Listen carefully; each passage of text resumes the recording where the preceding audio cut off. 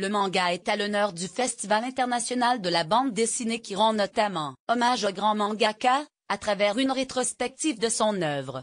Les centaines de documents, réunis seront présentés à l'Hôtel de Ville de Paris du 13 février au 31 mars 2018. À ne pas manquer. Naoki Urasawa est l'invité d'honneur du Festival international de la bande dessinée, d'Angoulême 2018.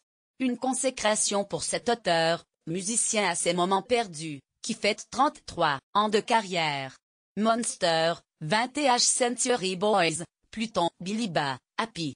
Il se dégage une envoûtante mélancolie dans l'œuvre du Rasawa. Lire aussi, notre dossier spécial sur l'édition 2018 d'Angoulême l'exposition riche de plus de 450 œuvres originales transcende la simple rétrospective.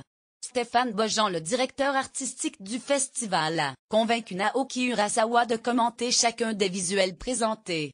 Ainsi le parcours de l'exposition met en exergue les thématiques chères à l'auteur, la notion de bien et de mal, celle de sauveur, l'approche de l'enfance, le défaitisme, la sagacité. Lire aussi, Urasawa, le monstre sacré du polar japonais, star du festival d'Angoulême. L'exposition s'ouvre sur les deux premiers chapitres, traduits en français, de la nouvelle œuvre du maître Mujirushi.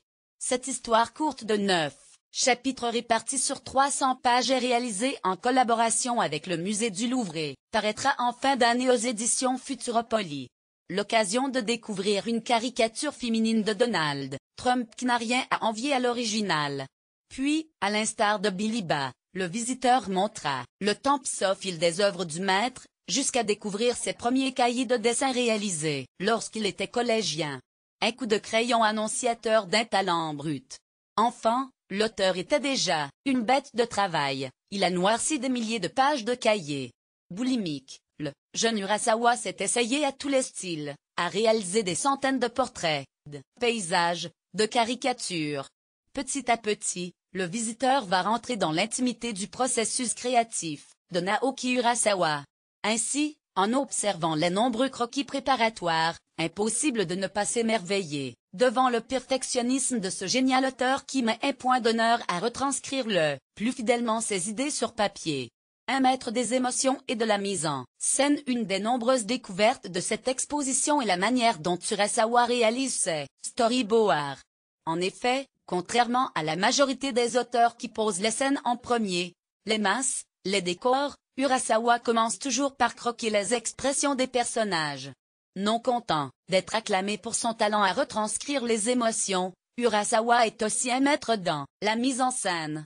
Ses compositions, dignes des plus grands réalisateurs sont mises en avant, parfaitement tout au long de cette magnifique exposition. Comment ne pas rester sans voix face à cette double page de Monster?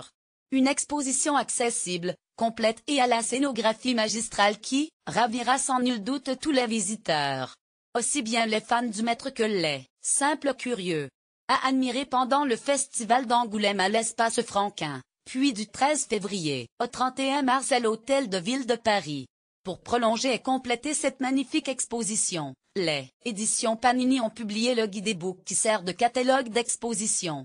Un livre essentiel pour toute personne s'intéressant un tant soit peu à Naoki Urasawa et son œuvre.